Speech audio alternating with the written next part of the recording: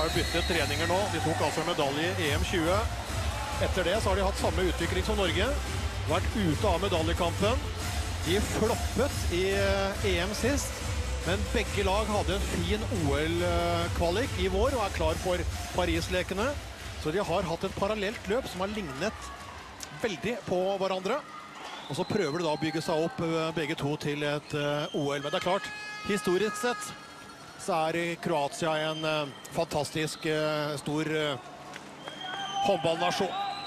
Kiel-spiller Domjak hviles fra start er Martinovic og Klara sitter inne i den rekka sammen med Serna som skjøt den første. Var jo faktisk med å skyte Kolstad ut av playoffen i Champions League òg med sitt Zagreb. Det er viktig også for Ville og for det norske laget Han får satt opp, et, eh, satt opp en god defensiv. Skal få i gang en Bergerud bak i målet der. Han plukka den første, men eh, greier ikke å stoppe den da. Når uh, Larnica får muligheten. Det går fort. Ja, det går lyn, fort. lynraskt. Og så er det Blomstad, vår toppskårer i eh, EM som ikke endte helt etter planen.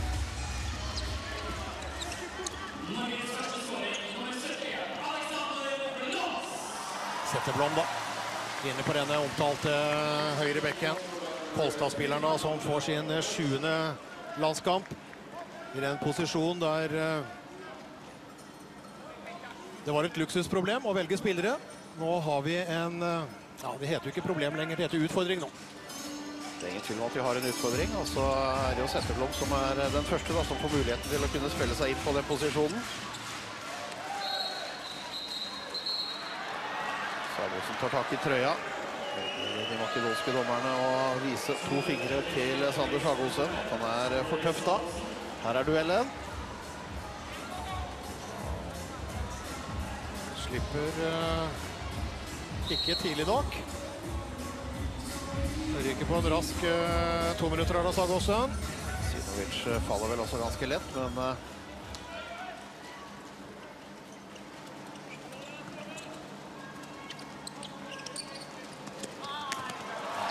kroatisk eh, spill eh, igjen. Martinovic denne gangen. En av eh, de som har vært med å skyte Melsungen opp og fram i bonusligaen denne sesongen. Strømmås i OL-kvaliken da de slo Erkerivalen i den uh, turneringa. Tyskland, åtte skåringer da. Ja, floppa altså i EM. Bytta trener uh, kroatene inn med Dagur uh, Sigurdsson. Så klarte de altså å slå Tyskland i Tyskland i OL-kvaliken. Begge lagene gikk jo til OL i Paris. To Kolstad, én Elverum i bakspillerrekka. Selv om Sagåsen er borte, for eh, Lyse kommer inn. Gleder også Sandvollmann-spillerne Mol og Sørø. For banen. Han uh, spiller den ballen der, da. Staric. Høyrekanten. Lyse har et strålende skudd. og han bruker det på rett måte. Peter Øverby da, som eh, starter på linja. Blons har presentert seg på venstre kant. Veteran Christian Bjørnsen eh, motsatt. Grøndal hadde jo en god hånd om eh, angrepsspillet i eh, OL-kvaliken. Han fikk eh, mye tillit, stort ansvar. Lyse Blons. Ah, stolpe ut! Eirik Øverby da, står rett i nærheten. Får aldri plukka opp den returen.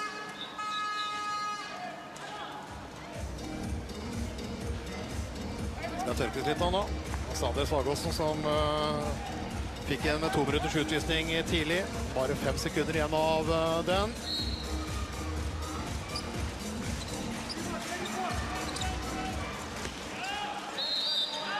Svak avslutning. Får et frikast eh, der.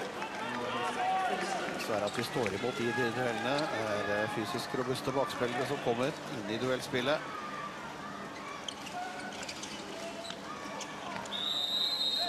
Angrepsfeil. Bjørnsen blir liggende også. Og slag i ansiktet.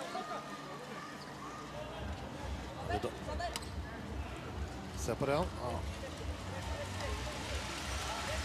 Kommer seg heldigvis på beina igjen, eh, Bjørnsen. Serva som er eh, tøff i satsingen der. Kommer med albuen først da. Som er godt er at kantspiller ikke trekker seg. Men eh, Bjørnsen, som hadde en av sine største håndballkvelder da de slo et verspre med Hans Aalborg, gikk til Final Four for annen gang.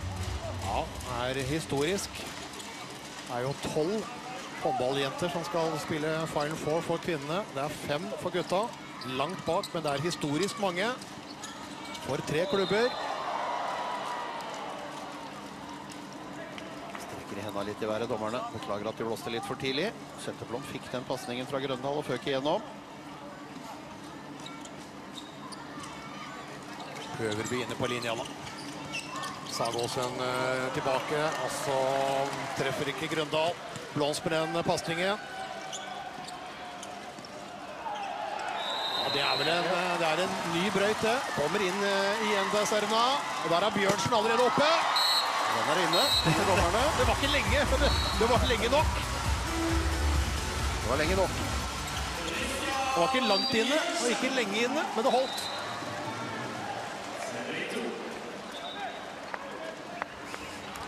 Gule kortet til Petter Øverby. Bare han holder seg på det, så. Kroaten og Dagur Sigurdsson litt irritert Han mener at han treffer ansiktet. Petter Øverby når han kommer ut der. Ja, rette mirakelet da, i Kiel. Kiel eh, lå under med ni mål mot Montpellier i kvartfinalen i Champions League vant med ti hjemme, så gikk det jo drøye ti minutter før Petter Øverby fikk et direkte rødt kort av den norske dommerduoen. Dagur Sigurdsson mener nok at eh, ja, direkte rødt er det jo ikke, men at det fort kunne vært til to minutter. Treffer ansiktet, så er jo den eh, der. Så ser vi da duellene der borte. Og kontringen til Christian Bjørnsen. Klart inne, Ja, ja. selv om ikke det var så lenge. Veldig langt. Stått godt opp uh, mot Serna da. Han starter på venstrebekken. Kommer her igjen. Zagreb-spilleren. Fått fraprovosert et par brøyt. Klarer ikke også. En liten piruett. Der er det! Oi, oi, oi! Sagosen har den ballen i hånda, men eh, glipper den. Sinovic som eh, setter eh, sitt første. Sterk inne da. Fikk utvisning mot Sagåsen i stad. Plukker opp ballen nå. Og Sølven da med å holde trykket i ankomst igjen. Litt den rollen han har eh, i Magdeburg også. Resten av gjør skuddfinta. Gjør å spiller inn til Øverby. Får ikke tak i den. Det er vel andre gangen hvor uh, dommerne blåser litt tidlig. Begynner latt det gå. Grøndal Sagåsen skal droppe den inn til eh, Øverby. Det er Godt kroatisk eh, forsvar. Og så er det inne i eget felt og henter den. Mamic står nedi når han har plukka opp, eh, plukket opp ballen. En av veteranene hos uh, kroaten, da. Mye ungt og nytt. Mamic da var med på både 2017 og 2020-kampene mellom disse to. Setteblom, det er rett i uh, forsvarsblokka til kroatene. Såpass tydelig senker den armen tidlig der, og da står Mamic der og plukker den. Ja, spiller seg til en god mulighet. Det blir en god åpning. Feier inn den uh, Martinovic.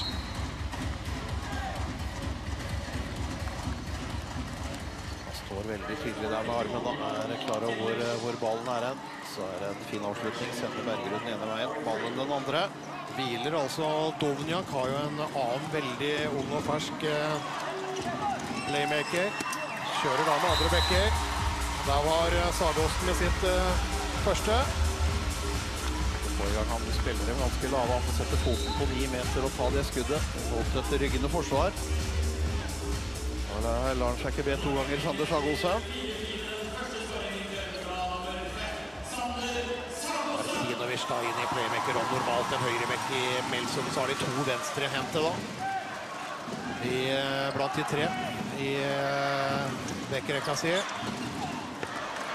Kommer inn. Litt bedre tima nå av Serna.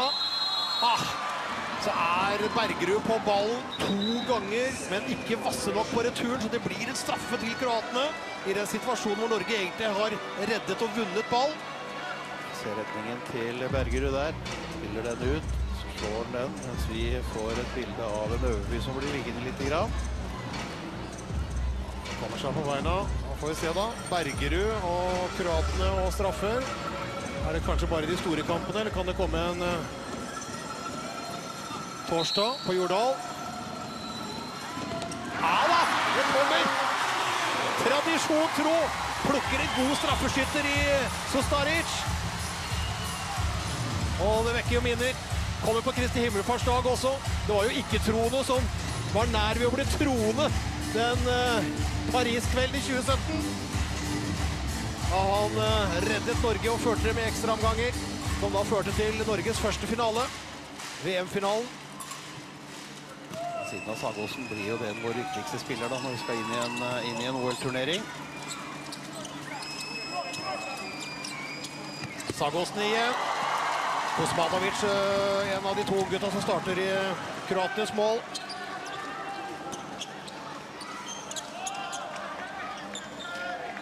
Så er sjefen sjøl, da, inne. Ja, han kan bare se en av de yngre spillerne feie inn Luka Klarika. Spilt av Sagåsen. Drar på seg to, så slipper den til Blons. Og da er jo han fri. Godt overblikk da. Vi kommer fram mot Grøndal som står ute der. Kommer inn uh, Sølven, unnskyld. Og Lodstad hatt en uh, god sesong i danske GOG. Spilt seg til førstevalget på venstrekanten til uh, Jonas Ville. Gikk ikke så bra fra overgangen fra Elverum til ungarske Seged, men i G og G, midt i Danmark, så har det gått fint.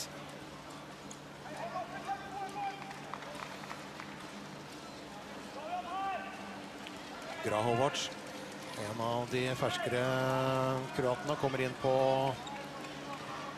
linja.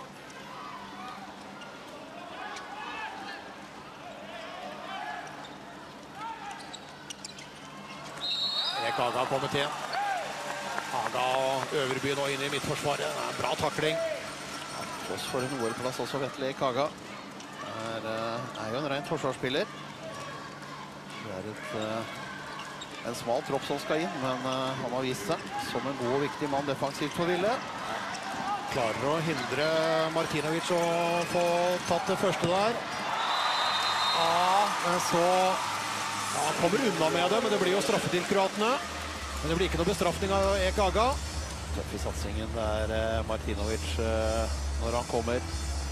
Så er det Øverby som kommer inn fra sida og skal prøve å tette i luke. og Så kommer han litt for langt over. Det er et lite rom der å gå i. Bergerud igjen, da. Plukket altså den første kroatiske straffa. Det var fra høyrekanten eh, Sostaric. Martinovic nå. Nok en eh, venstrehendt. Det var en solid tredje målet hans.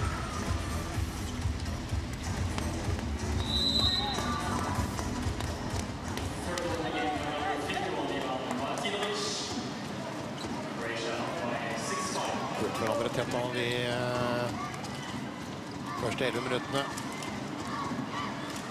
Solstad kommet inn på linja. Øverby fikk seg en smell. Grøndal. Osmanovic eh, følger det skuddet godt. Står der på noen armer. Det er tydelig at han skal skyte der. Gode vekslinger, bra tempo hos eh, kroatene. Og så Dovniak, da. Han kan fortsatt. Ingen tvil om det. Det ble spilt veldig lave. Som vi gjorde når sa- kroatene ble spilt når Sagåsen kunne skyte i stad. Er hårfin. Så er det bra satt av Blås igjen. Altså fire avslutninger allerede. Tre av dem i mål. Det er viktig å greie å bruke bredden i banen. Pasningen til Sagåsen er eh, marginal, men eh, det blir jo genial når uh, skaper en to mot en situasjon der ute. Grøndal dytter dem bare videre til Blons.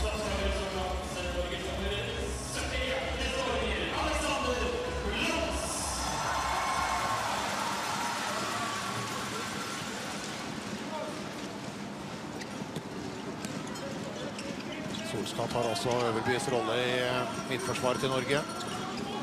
Sølven bytter jo med Grøndal. Det gir Sagås litt fri òg.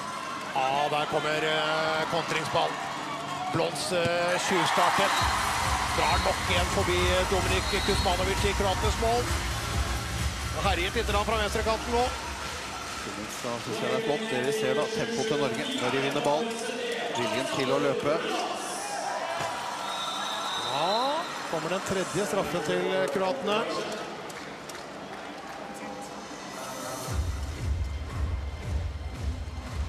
På vei gjennom utover i banen da. Veldig sånn mulig. Det blåses jo ofte. Du er på vei gjennom der ute når du kommer inn fra sida. Tar den armen uh, på Sullivan. Martinovic uh, lurte Bergerud på den forrige også, etter at Bergerud tok den første fra Sostaric.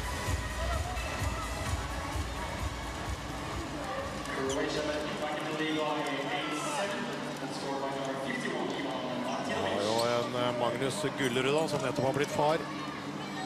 Permisjon på denne samlingen. Det er Øverby Solstad i dag. Eh, debutanten Gjerdal fra Øya Arendal på benken. Inne på linja. Sagåse. Et ordentlig eh, krigermål. Så sterk han er og god langs han også har da han gjør overslag og greier å fullføre med en spiller som holder han i kroppen. Ja. Sagosen peker litt fram på dommeren også. Mener at uh, det er forskjell på Hvis jeg fikk to minutter tidligere i kampen, uh, hvorfor var ikke det der det samme?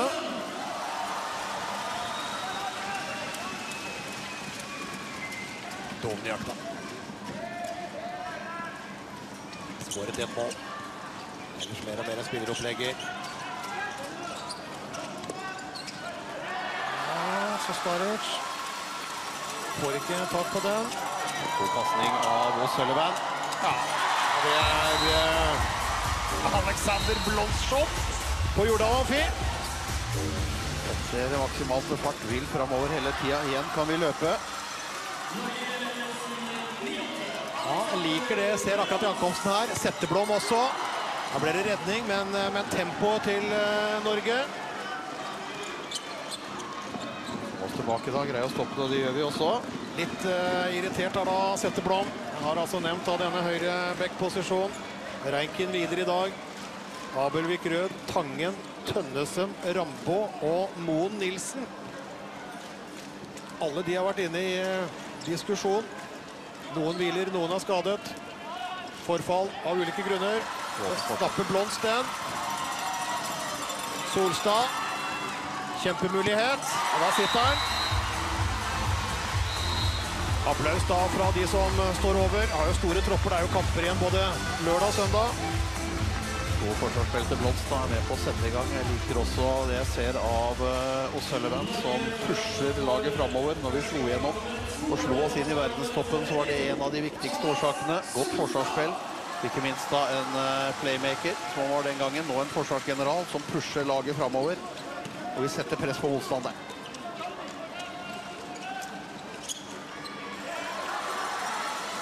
Skåret uh, mye mål Martinovic, men også mistet opp på de to siste. Med å holde trykket oppe i ankomsten, akkurat som i Magdeburg og Sølven. Men landslagskaptein skal nok være med til OL, så får jo lite spill, etablert angrep i Bundesliga-klubben sin. Før OL så har han jo muligheten for å trene seg litt inn i det, så vi kommer nok til å få se han mer offensivt inn mot Paris. Og akkurat nå har han klubbrollen sin. År tilbake her også. To unge trøndere, da. I bakspillerrekka. William Aar med nummer 18 tilbake på landslaget. Fikk noen landskamper. Har vært ute en periode. God i Ribe i Danmark. Simen Lyse som har vært en hit, da. både i Rema 1000-ligaen og for det norske landslaget denne sesongen. Ja, William Aar var jo tidligere Kvalstad-spiller. Lyse er jo nåværende. Aar har vært lenge i Danmark nå. Han fikk jo med seg denne vanvittige drama i, Malmö. EM i 20 var jo også med i VM i 21, William Aar, men har jo vært ute av landslaget nå i ja, to og et halvt år. Det prøves ut nå, da. Og finsiktige kandidater. Lyse via Kuzmanovic og i mål. Det holder lenge. Norge som lå to mål bak, er plutselig tre mål foran. Feil det kroatiske laget. Godt forsvarsspill, ikke minst av stort tempo, et trykk og effektivitet framoffensiv. Ja, og så kommer kveldens første timeout.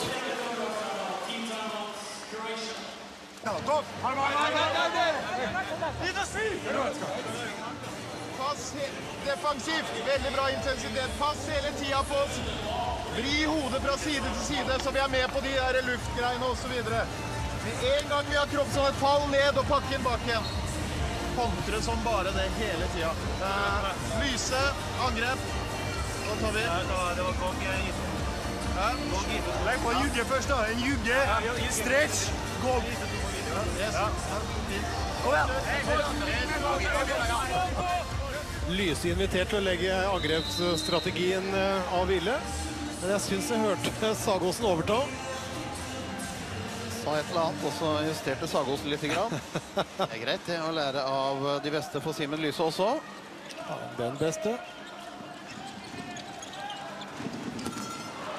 Svette forbi eh, Bergerud. Byttet litt på laget. Matheo Maras eh, kommet inn. Feier inn sitt første. Årda. Rett på målvakt. Hvem tar returen? Kroatene.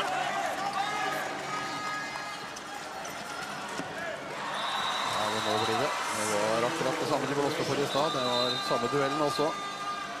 Kommer i stor fart, angriper rommet. Martinovic breit ut i banen, så Sullivan er på han. Ja, Martinovic har jo satt inn eh, to av sine mot eh, Bergerud. Bergerud tok altså den første fra Kostaric. Når han har sluppet inn to, så kommer Christian Sæverås inn i mål i stedet.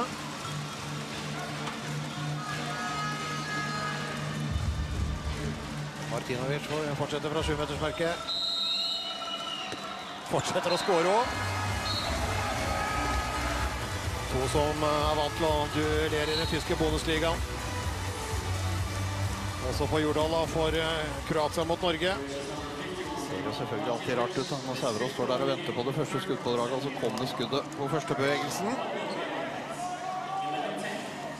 Fersk bakspillerrekke her da, med Setteblom, År og Lyse. En tidligere og to nåværende Kolstad-spillere. Solstad inne på linja. Så har vi da nærmere førstevalg ute på kantene. Da får prøve seg, så er det Lyse. Kaster gjennom ved sidelinja. Ja, hadde 11-8 inn i den timeouten til Kroatia. Nå er det 11-10 litt etter.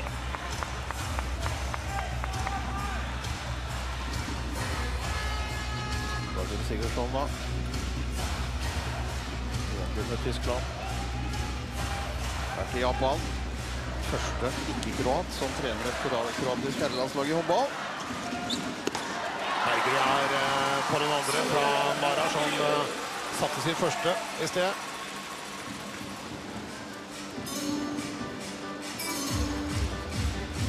Ja, Sterkt av eh, Dager Sigurdsson, men har jo hatt to god om Østerrike. Var lenge i Fuchs Berlin, Tyskland, Japan.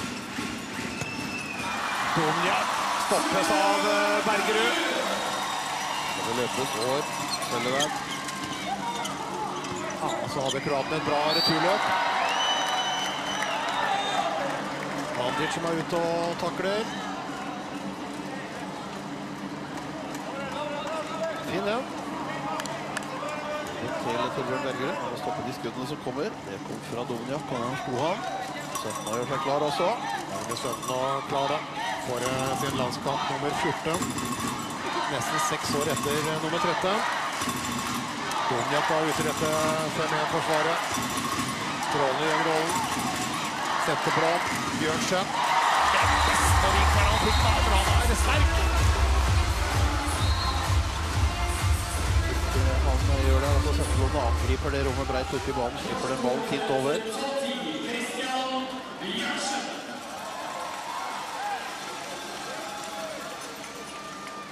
Mannen som eh, overtok styringen av Kroatia etter Ivano Balic. Balic tok gull. Det mangler Dovnjak fortsatt på landslaget. Han holder på. Det er ikke det at han ikke har prøvd. EM 2008, første forsøk.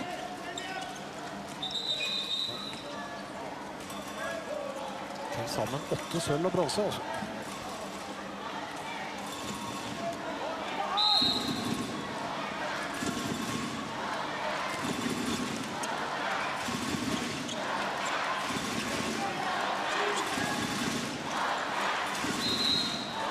År inn i midtforsvaret nå. Ny konstellasjon der med Solstad og Aar.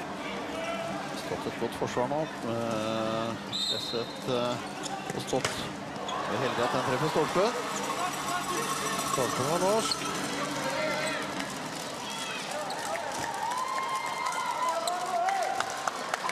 Byttes litt rann, da. Og Sønten å prøve seg. Det er jo da forrige posisjon reserven til reserven til reserven. Men uh, kan jo komme til OL for det. Så fortrinn i den forstand at han kan bekle høyre kantposisjonen. Da. Det er mye som taler for at Christian Bjørnsen blir det eneste. Der ute i en 14-mannstropp. Det samspillet mellom År og Lyse blir ikke perfekt. Det er perfekt. Bonjak. Ja, Astrale er hvordan han leverer inn til Gravart.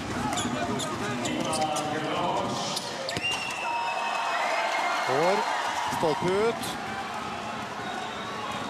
Thomas tilbake. Det klarer vi også.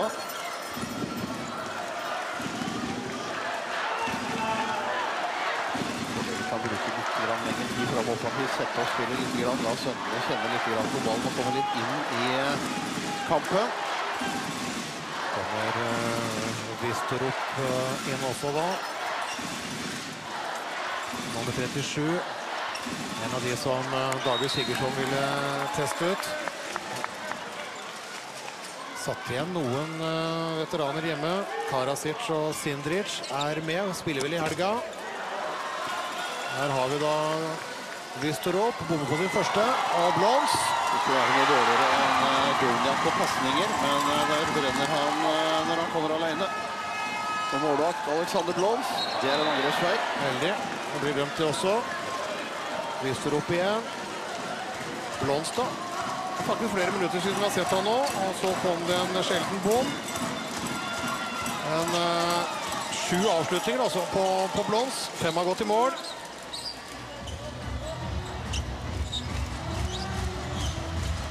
Kjører vi Sagåsen og Lyse. To i Kolstad. Sønten nå kommer til Kolstad kommende sesong. Fra ØIF Arendal via Elverum denne sesongen til eh, Kolstad. Blir det rekke der eh, kommende sesong. Og så da ah, Det er glimrende spill. Får lurt inn den eh, lyset. Strålende jobba Sagåsen her, hvor han trekker med seg spillere.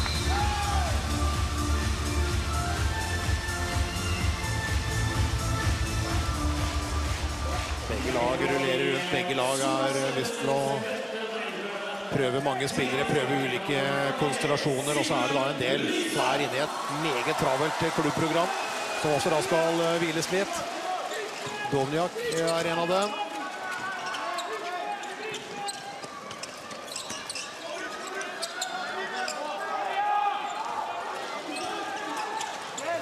Serna er inne og styrer det. Selv om Køttermann har gått ut med Spiller sender over bortre ned igjen. Ja, Sarna vet at det er spillet mot passivt.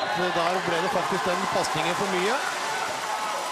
Serna sin tredje tekniske feil, den tredje angrepsfeilen hvor han løper rett inn i en forsvarsspiller. Ja, da må nesten David Sigurdsson montere en GPS på den, så han eh, rett og slett eh, Justere avstand i hvert fall. ja, for uh, ordne kart og terreng.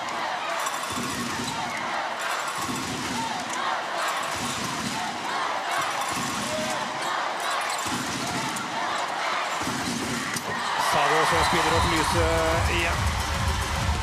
Smelta av gårde fire stykker. Får høflig applaus av Reiken også. Skårer på alle fire, Lyset. Oi, oi, oi.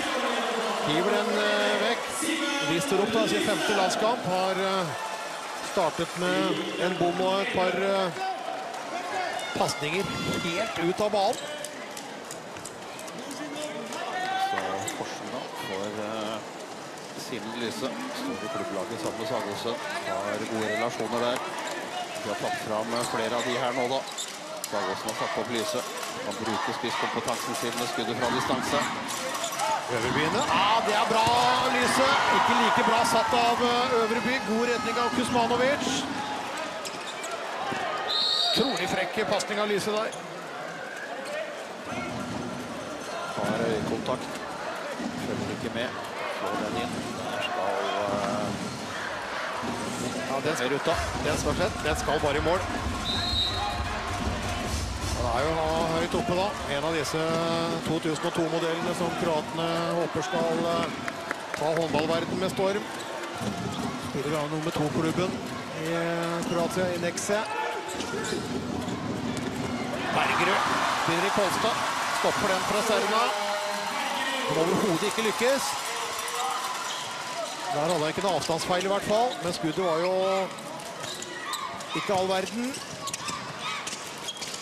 Sønden nå inn til Øverby.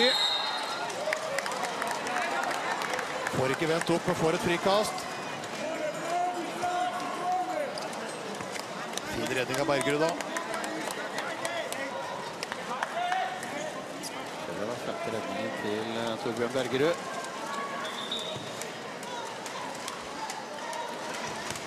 Kuzmanovic, en mer. Og ned 46 redninger. Ja, Bergerud har variert litt denne sesongen han også, som Sagåsen. To nøkkelspillere. Må ha topprestasjoner inn mot et eh, OL i Paris. Dette er jo en turnering, da. Fortsetter på lørdag og søndag. Så kommer det en eh, kamp på Gjøvik mot Spania i juli. Resten er trening.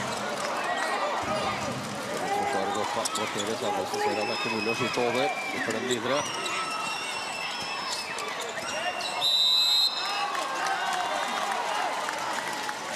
Det er Norge som spiller eh, ut av uh, passiv. Lyse som slår den utover sidelinjen. Skåret på alle skuddene sine, Lyse, men har hatt noen pasningsfeil. Blir liggende ute på kanten da, rett til forsvaret. Da er jo Sullivan og Øverbyen i midtforsvaret. Det har vært litt av en sånn turnus der inne. Så bryter han gjennom. Vistor opp. Sagåsen da, den er enkel. Det ser i hvert fall enkel ut når Sagåsen gjør det. Det er ikke en målvakt, selvfølgelig, men, men han greier det. Sander Sagåsen. Det er et frikast. Det skal tilbake også da. Kropp som uh, forsøkte seg igjen. Vært aktiv etter at han kom inn. Han var med på denne fine OL-kvaliken til, eh, til Kratene. Fikk noen landskamper eh, der, men det er jo en fersking. Har lyst til å vise seg fram videre for ikke bare å være med på kvaliken, men eh, gjerne selve OL også. Men det spørs når Sindric og Karasic er klare. Og vei da. Ja, ja. Bjørnsen. Lydrask igangsetting. er lekkert hvordan han bruker håndleddet for å flippe den over Kuzmanovic. Det er uh, meget høy klasse. Teknisk helt sjørett utført på fart, uh, eller på vei ut av banen i stor fart og et følsomt håndledd. Får vel eh, gratulere Svonimir Serna ute på venstrebekken der også. Justert GPS-en, skåret sitt første. Kroatia, eh, kroatenes nummer 58.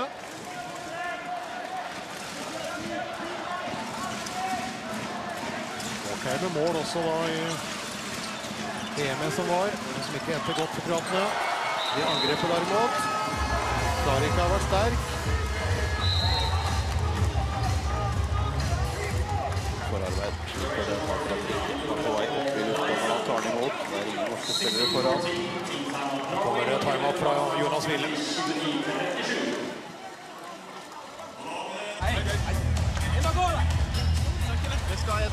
25 sekunder. Sander, du tar den. Nei, vi spiller jugge venstre, stretch, ISO 3, selje på Sønne og utside. Ok? Gå tidlig nok så du kommer deg på utsida. Og så jeg går ikke så hardt at jeg får flinke på passingen.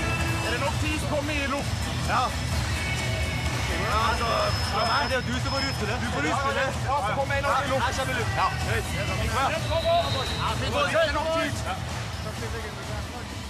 Sander Ja, vi tar kommandoen i timeouten i sin landskamp nummer 166, sånn som han gjorde i sin første landskamp i 2013. Sømte nå ut til Bjørnsjøen. Ah, Skulle ha spilt den da i en flyver til Sagåsen. Lykkes ikke da i det siste angrepet, men Norge går til pause med 16-14. Etter den siste lille bonden til Bjørnsen. Kunne gitt til Sagåsen, men uansett norsk ledelse. Vi er straks tilbake med mer håndball fra Jordal Amfi. Fart i kampen, sånn som vi elsket det da Norge slo igjennom i 2016 og spilte mot uh, Kroatien i semifinalen i EM i, i 20, før begge landene ramlet litt ut av uh, semifinalespill og medaljekampene. Og så får vi se, da. Har jo brukt eh, 13 av eh, 16 spillere i første omgang. Starter andre omgang med samme backrekke. Solstad inne på linja. Blons og Bjørnsen på kantene. Blons eh, hadde jo fem mål i første omgang. Grøndal er tilbake i backrekka. Han startet jo. En mulighet her inn til eh, Solstad. Kjenninger fra Elverum-tiden før Solstad stakk til Danmark. Nå skal jo Grøndal stikke etter.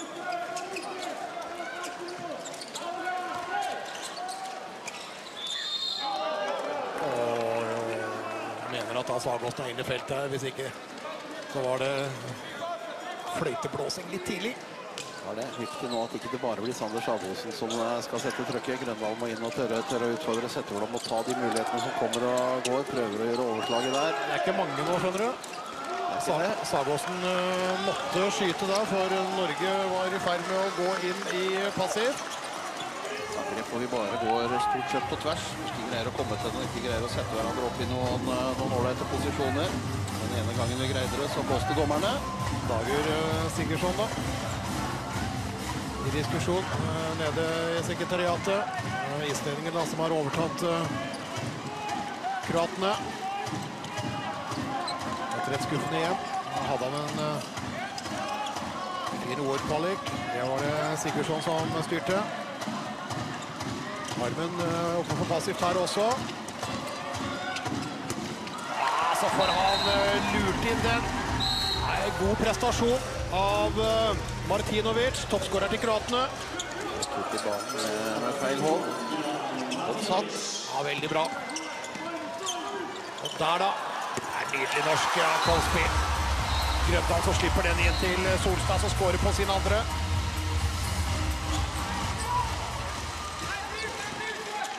Bytter to spillere.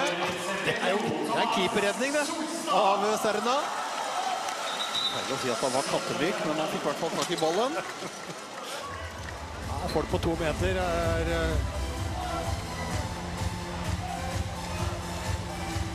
Skal jo heller ikke med i, i OL i turn. Men den der er lekker. Der har vi Grøndal inne, som han er på sitt beste. Vinner den første duellen med god avstand, får på seg neste og slipper ballen. Da. Godt samspill mellom han og Solstad. Ja, har vokst inn i landslaget. Fin OL-kvalik. Startet jo kampen her med en teknisk feil og en eh, skuddbom. Fikk jo begrensa med spilletid i første omgang. En bra start her for andre. De arbeider godt. Forsvaret står og hjelper eh, Bergerud til å snappe den. I ankomsten Sagosen. Og Sølven er med og holder trykket oppe. Og så er kroatene gode. Presser Norge til etablert. Og så skal det gjøres da dette ene byttet, da. Og Sølven ut og Grøndal inn. Fin spill fra Grøndal igjen. Det er vanligvis Sagosen som pleier å servere. Her er det han som får det servert. Angriper også det rommet da breit ute i banen der. Får en perfekt pasning, løper inn i den og har det rommet skal i. Og så starter litt på motsatt side. og synes Setteblom har slitt litt med avstand. Ja, nå skal Norge gjøre to bytter angrep forsvar da. Både Grøndal og Setteblom skal ut. Og Sullivan og Ek Aga skal inn. Og Sullivan bytter også side i forsvar når Sagåsen står. Kan det gå i de fleste posisjonene bak der, og Sullivan. Står godt, Bergerud, på den. Blir det dømt angrepsfeil også på Klarika. Ja, nær ansiktet på Bergerud der òg. Fikk den i ansiktet Torbjørn Bergerud. Stavros sitter klar hvis det skal være noe med Bergerud. Det virker som det er greit igjen. En ting er jo å få ballen i ansiktet, det gjør jo vondt nok, men så er den jo full av klister også. Det er nesten det verste, hvis det kommer opp mot øyet.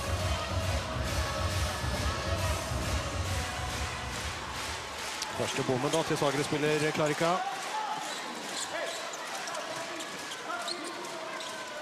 Kontret i mange mål. Får eh, jobbet mye etablert nå. Setteblom blir jaget unna. Men eh, høyre back-posisjon da, der det er så mange forfall. Kolstad spiller Setteblom, får prøve seg mye her. Sønden litt inne også i første omgang.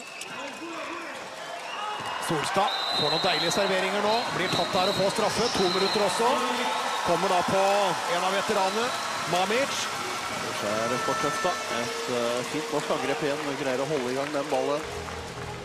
Pasningen kommer. Sagosen kan angripe det rommet. Solstad står flink til å holde Mamic unna. Og så må han bruke ulovlige midler. Første straffen til Norge.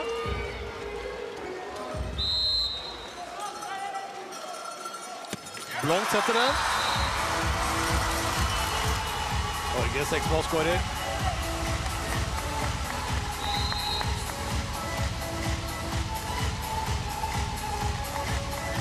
Mamic han er den samme med Domjak som var med på semifinale både i VM i 17 og i EM og 20 de ultradramatiske kampene med ekstraomganger. En VM-seier til Norge og en EM-seier til eh, Kroatia. Som sagt så har begge vært eh, ute av det beste selskapet etter det. Begge jobber for å komme inn igjen. Ek Aga Spill videre, sier eh, de fleste til Serna. Aga flytter seg ikke i det hele tatt. Kapasitet i beina. Jobber godt med linjespiller. Kommer fram og skytter der. Ja, så kommer det da et skudd fra langt hold. Klarika. Tre på tre i første omgang. To bom nå i andre. Hadde altså en tremålsseier, unnskyld, tremålsledelse på det meste Norge etter å ha kommet to mål bak tidlig. Økt da til fire nå i starten av den andre. Bytte gjort med Grøndal og Sølven. Setteblom skal ha den inn til Sagåsen, og så blir det angrepsfeil i stedet. Kontring imot. Men så står Bergerud i veien. Milet er kommet inn på høyre kant og bommer på sin første. En av ferskingene hos kroatene da. Kommer inn der, kommer inn med lav arm. Har den armen lav, så da kan Bergerud bare stå der. Ser på Setteblom. Er bra igjen. Får den ene gavepakken etter den andre nå, Solstad. Og så kom den første bommen. Kuzmanovic er bedre på den, da. Han vant jo målvaktskampen i, i første omgang. Allikevel så var det Norge som ledet. Kommer det en ny timeout tidlig for Kroatia.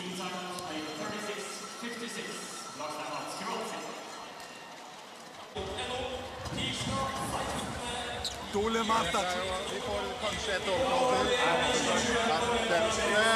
Hør nå. Jeg er forberedt på at vi kommer til å veksle mellom 5-1 og 6-0. Og husk på det, hvis vi kjører overgang mot 5-1, de går ned i 6-0, så husk på det vi har snakket om, med å puste, flippe rundt og få ISO, og eventuelt tre eksport til slutt. Yes. I angrep nå, hvis det står 5-1, så spiller vi Basha bred. Tomt. ok? Jeg går tom. Du går tom. Ok, og spiller vi 6-0, så spiller vi Isla venstre bandit. Kroatia i dag møter altså Danmark igjen da på lørdag. Sending eh, på samme kanaler fra klokka 16. Da har vi Kroatia-Argentina i forkant. Kroatene som kommer ut i 7 mot 6-spill etter eh, timeouten. Målet da åpent. Domnak er på vei ut. Armen eh, blir jo da naturlig løfta. Ja, Solstad ute. Stresser eh, Serna, som gjør en feil. De har han hatt flere av. Og så, når man mislykkes i 7 mot 6-spillet, målet åpent. så er det en gavepakke til motstanderlaget. Og her, Christian Bjørnsen. Sølvran er eh, igjen våken da. Har eh, løfter blikket, ser framover, jager laget framover. Og en uh, nydelig pasning. Ai, ai, ai, landslagskaptein. Vår mann i Magdeburg. Regjerende Champions League-mester som har kommet til final for, for andre år på rad. Og der er han også. Prøver å snappe den fra Dovniak. Superveteran da hos kroatene med nummer fem.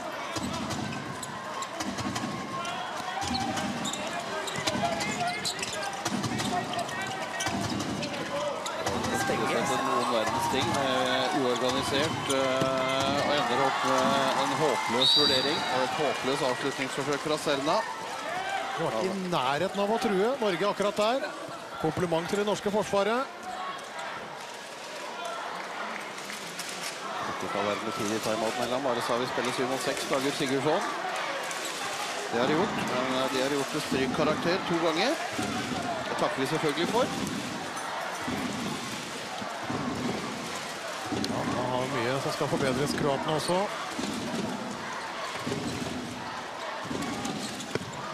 Skulle til Grøndal. Godt med på den, uh, Kosmanovic. Ikke truffet på skuddene nå, sånn som han gjorde mot uh, Ungarn i den uh, meget viktige OL-kvalik-kampen. Grøndal skåret åtte. Først Portugal, så Ungarn, og så var OL-plassen sikret. Gikk jo nesten eh, 50 år mellom det første OL til håndballgutta og det andre. Da gikk det bare tre år fra det andre til det tredje. Der er måltørket til kroatene over. Klarika tilbake med skåring. Greier å vinne duellen, da. Få av et skudd også.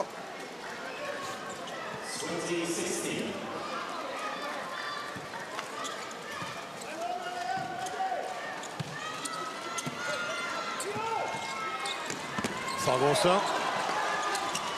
Ny redning eh, av eh, kroatene. I kontringen her. Treffer vel foten der til Mileta. Sogner rett og slett ballen. Eh, En god eh, kontringsmulighet som det kroatiske laget hadde og fikk.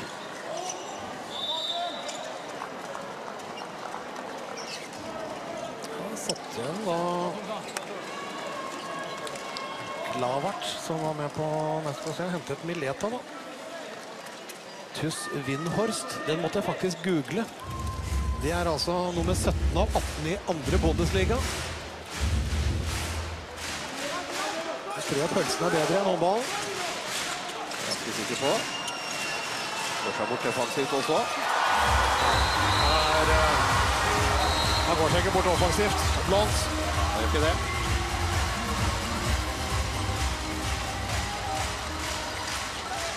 Men uh, de skal ha 7-6-spillere til å sitte, så de kjører videre på det, kroatene. Tømmer målet for å få to på linja. Usikker på om det er lenge nok igjen av kampen til at det sitter. Her kommer i hvert fall en luftpassning av Dovniak. Ja, ja, ja. Og der var vår mann i Eller deres mann i Tuss Wienhorst Winhorst med skåring.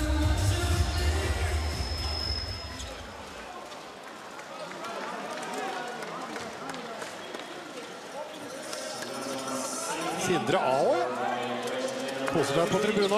Gikk jo fra Drammen til eh, Melsungen. De er i første Bundesliga, høyt oppå. Femteplassen. Har et par kolleger her ute hos eh, kroatene.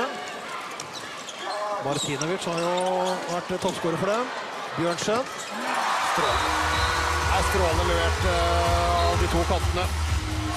Det er viktig inn eh, i alle kamper, og inn mot mesterskap også, at vi har sikre kantspillere, og at vi kan brette ut spillet enda mer. Dette her som, som satt godt uh, tidligere, som kanskje har blitt litt borte et annet sted på veien. Men som har uh, vært uh, godt synlig nå. Farten, kontringene. Brette ut spillet.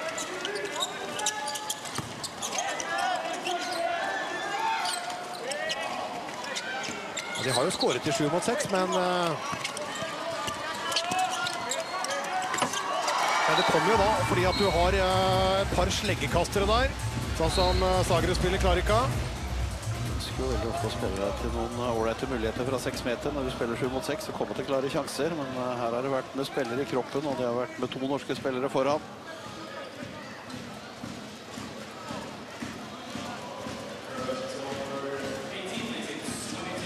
Fortsetter han med å bytte og Sullivan og Grøndal. Lar denne gjengen stå litt nå.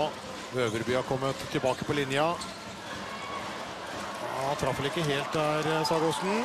Samtidig så er det et uh, pasning som Øverby også kan løpe inn i.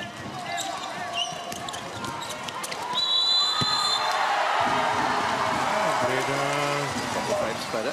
ja, blir tatt på, på linja der. Sinovic som uh, er for tøff. Den får Øverby tak i. Strålende. Da satt den. Første til Øverby.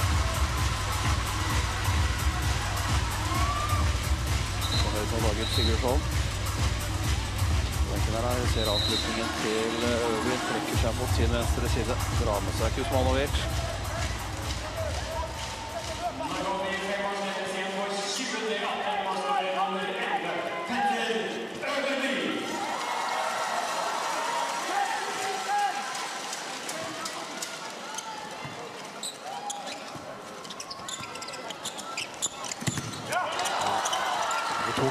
Kiel-kompisene. Øverby. Ah, perfekt satt. Midtstilt i målet. Når hans uh, kompis uh, fra Kiel skyter. Der står Øverby der som uh, målvakt foran målvakta. Og så er det han som også får gleden av å skåre. Godt forsvarsspill. Daniel Sigurdsson sitter og ser ut mot et 7 6 spill som eh, ikke har vært all verden. Men det er altså bare noen gode langskudd som har eh, reddet kroater denne perioden. Bra forsvar, den er grei den. Ballen er vunnet. Kaga vil ikke skyte. Sagosen har inn til Blåns, rett og slett. Ja. Enkleste. Kommer det nok en kontring etter 7 6 feil hos eh, kroatene. Så er jo kroatene borte på sekretariatet med det vi ser Blons sitt eh, åttende mål. Så mener de da at de skulle hatt et frikast her oppe. Mek Aga og kom unna med det.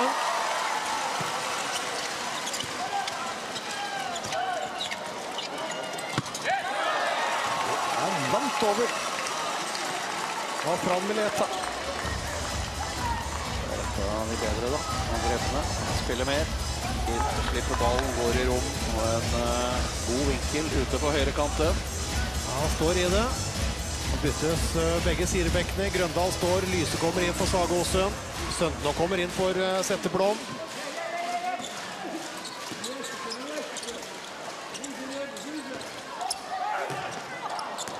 Der gikk eh, Grøndal seg vill. Vi er til lyse lufta. Følger det kroatiske laget med på. Bra ankomst av kroatene. Får de skåring igjen fra linja. Jacinovic.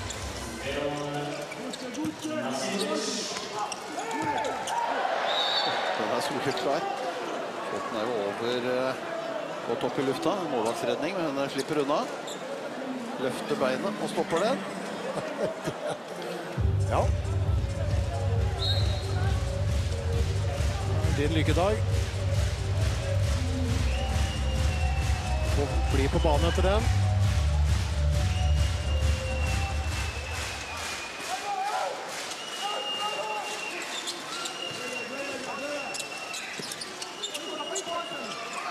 Og Sødden nå, de to Elverum-spillerne.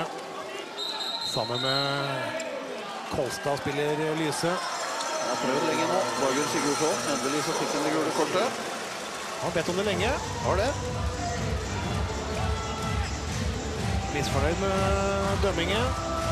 Hadde jeg vært han, så tror jeg faktisk jeg hadde konsentrert meg om å få orden på forsvarsspillet og det 7 mot 6-spillet. Har latt de små feilene til dommerne gå. Sønden nå, da. Kunne vært en comeback-skåring. La vente på seg. Toniak i lange kliv. Bergerud. Kroaten beholder ballen. Foten til Lyse. Ja, er vi ikke helt med på kanten. Nå blir det jo gode arbeidsforhold da. Jelinisic som har kommet inn der.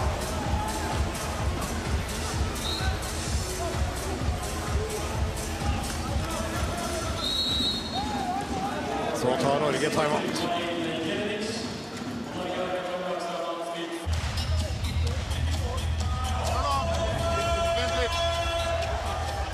Hei. Da er det litt mindre nøyaktig framover, litt mer slurv, da blir det kontring mot isteden. Vi må ha flere satsinger før avslutning. Så vi kjører nå ISO eh, på deg. Du kjører Nordsjælland ISO. Du starter venstre. Nordsjælland ISO. Kommer du på, på kryss, vurderer om du skal ta tidlig overspill eller gå rundt. Hvis det, hvis det blir overspill og ikke mulighet, får vi Blons inn på innstikk. Sant? Rolig og fint, så puster vi bare derfra. Litt mer slurv. Avtaler noen systemer da, som skal eh, gi noen flere skåringer. Grøndal slipper igjen til eh, Sønden nå. Straffe og to minutter. Eller var det bare assistanser der? Ser den igjen.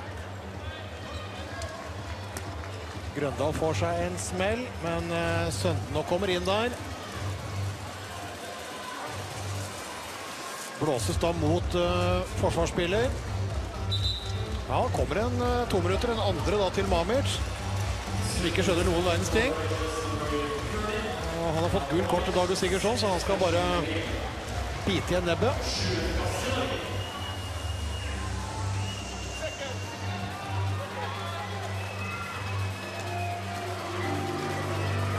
Alexander Blås.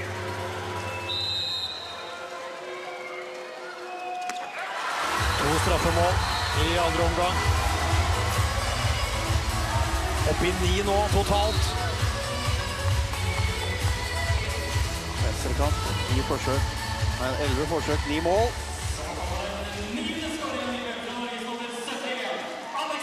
Ja, fem skåringer. To bom i første omgang. Fire på fire i andre. Norge da i ny seksmålsledelse. Tilbake i eh, seks mot seks nå uten. Klassepasning av med for en redning av Bergerud. Og så er Bjørnsen helt alene. Kroatene kommer seg ikke i. Ja, det er målvaktsredning og kontring. Det er oppskriften, det. Og Sipic eh, ikke lurer eh, Bergerud. Det er akkurat sånn som eh, vi vil ha det. Et eh, aggressivt, godt norsk forsvar. Kroatiske mål er tungt, da, fordi at Mamic sitter utvist. Og når du får redningen og kan sette fart etter, Sjette også til Bjørnsen. 15 mål av de to kantene. Har stått, eh, stått hele kampen. Barthold og Thorsen Lien har vært på, på benken. Sammen med linjespillet Gjerdal, som da i utgangspunktet bare skulle i sin første landskamp, bare for å kjenne på benken. Bonjak skal ha et frikast og får det. det er for å få der også. Jeg syns aggressiviteten, kompaktheten i det norske forsvarsspillet er bra. Øverby Ek Haga står godt der inne. Sølleveien er framme. Presser det skuddet. Bergerud er der med foten. Det er fine redninger nå, selv om det ble da en eh, retur på den.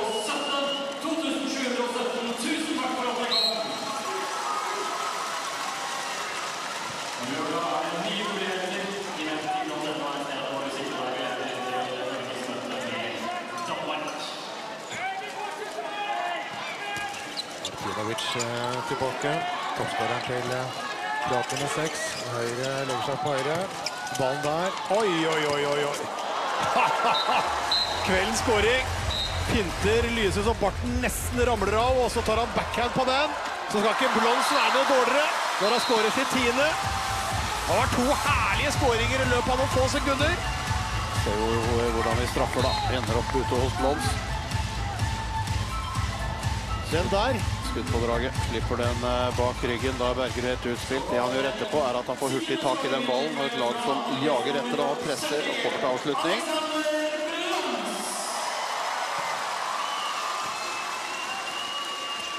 Ja, noen deilige Kunning. To store prestasjoner. Han er klart nummer 51 her. Martinovic har eh, kveldens skåring så langt. Armen kommer for passiv. Donjaks tar rennafart og sender inn eh, et eh, vådeskudd som treffer meget bra. Så er Lyse der. Den første bommen til Lyse. Øverby plukker det for fort. Bjørnsen løper fortere.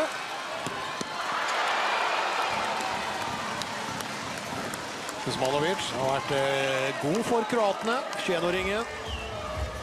Fått opp med 13 redninger eh, i det kroatiske målet. Bergerud opp på 10. Ja, det er jo har vel allerede da. Skal vel kjøre da nummer to-klubben Mexi ut denne sesongen. Så har vi målvaktstrener eh, Klentric var det vel òg. Så skal han til Bundesliga og Gomersbakk etter hvert. Han og Zagreb-målvakt eh, Mandic. Mandic har jo vært stor for Zagreb som overrasker i Champions League. Har ikke vært på banen så langt. Kommer nok i løpet av helga. Kan være en årsak til at uh, Tuss Windhorst uh, ligger helt i bunnen av den andre Bundesligaen. Det er nok ikke bare Mileta sin, skyld, men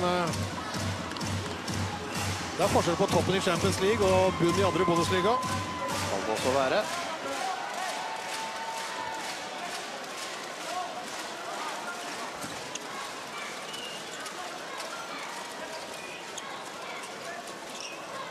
Livet er ikke alltid rettferdig, men av og til så får man sånn fortjent. Oi sann, Grøndal. Små marginer. Nå kan kroatene kontre. Bergerud. Strålende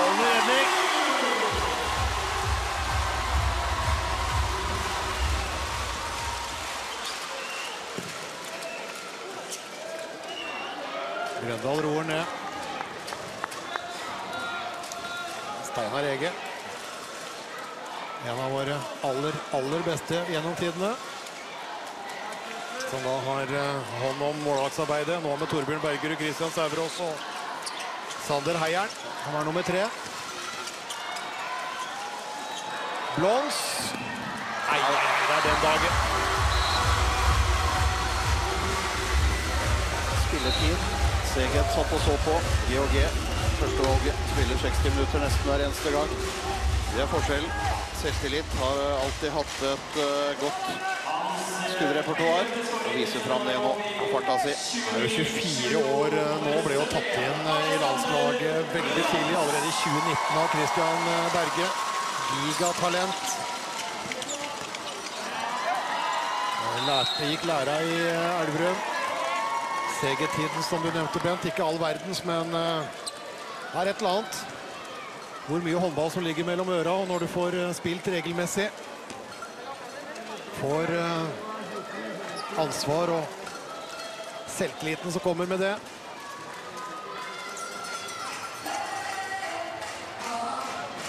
Elleve mål. Elleve mål på 13 forsøk. Straks inn i de fem siste minuttene av den eh, første kampen i Gjensidig Cup. På lørdag kommer altså Danmark på besøk. På søndag skal turneringen avsluttes mot eh, Argentina som også er i Norges OL-gruppe. Ja, Grøndal har ikke truffet de der.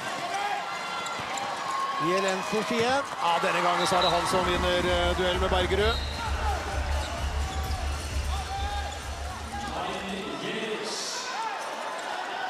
I eh, pasningsfeil eh, på små marginer fra Grøndal. Ja, noen dager sitter han, noen dager sitter han ikke. Det er greit at de ikke sitter på en dag hvor Norge leder komfortabelt inn i de siste fem eh, minuttene. Det ikke er nå det står ting på spill. Og kaster den ballen rett i klypene på Solstad. Sliter litt med å få ballen med seg, men nå plukker den opp. Skårer sin tredje. Ser det spillet godt der, Thomas Solstad defensivt. Det er eh, Serna igjen da, som uh, fått en skåring, men det har vært langt mer tekniske feil. Det var fem tekniske, fire skuddbom og én treff av Zagreb-spilleren.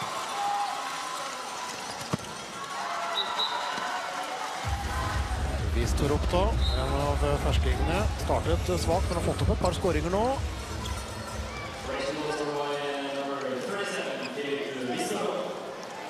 Det var inne litt grann de tre i første omgang også. Lyse, Setterblom og År. År som da gir comeback på landslaget etter en eh, god periode ute.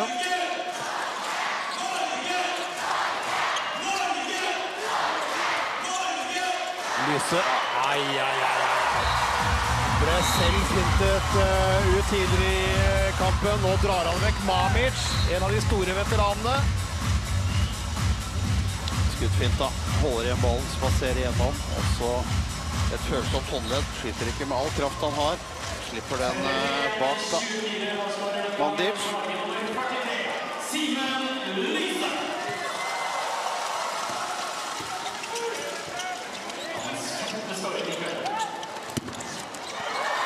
Ja, Bergerud.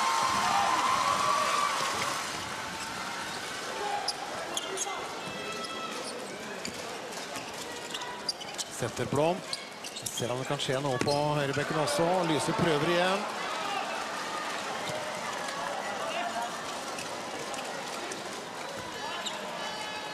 Vi har pratet om denne høyrebekken hvor det er mange forfall. Setterblom har stått der.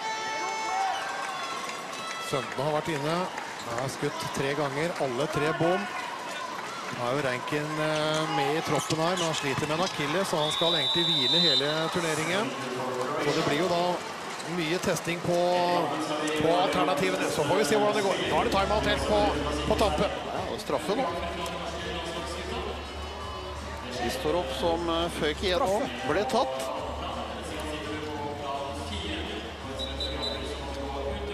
Jeg trodde det var, jeg trodde det var timeout, jeg som egentlig er mest våken på kveld.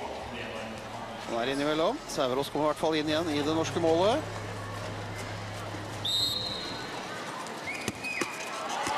Ja, godt satt. Han tok jo over straffeskytingen etter kroatenes første bom. Han satt inn eh, fire av fire. Fire spillemål også. Så Melsungen spiller Ivan eh, Martinovic. Kroatenes toppskårer da, med åtte. Simak Ismanovic i målet. Den klart beste spilleren i dette kroatiske laget. Det er litt preg av det at Dager Sigurdsson har ønsket å teste noen andre store deler av den andre omgangen. Snakket litt om det i stad. Setteblom, du må justere avstanden litt. Du er alt for nærme i armene. Du må gå av med litt større avstand. Da vil du kunne bruke hurtigheten i beina dine. William Aar jakter også da en comeback-skåring, men eh, de tre forsøkene har han ikke lykkes med. Straks det siste minuttet. Fortsatt komfortabel norsk eh, ledelse, så seieren har vært i boks en stund.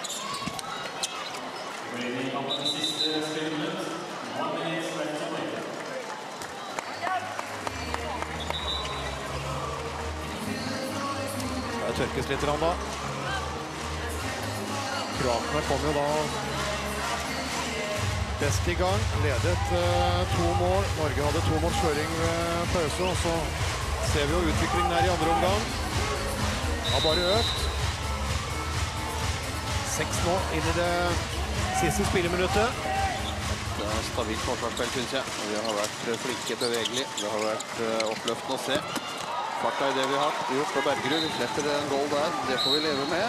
Her eh, avslutter jo et eh, fint eh, kroatisk angrep der Filip viser opp. Fikk altså prøve seg litt i den andre omgangen. Da startet med et skuddbom og to feil Har fulgte opp med tre fine mål.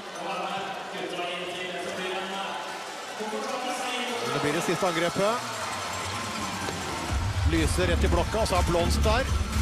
Tar returen.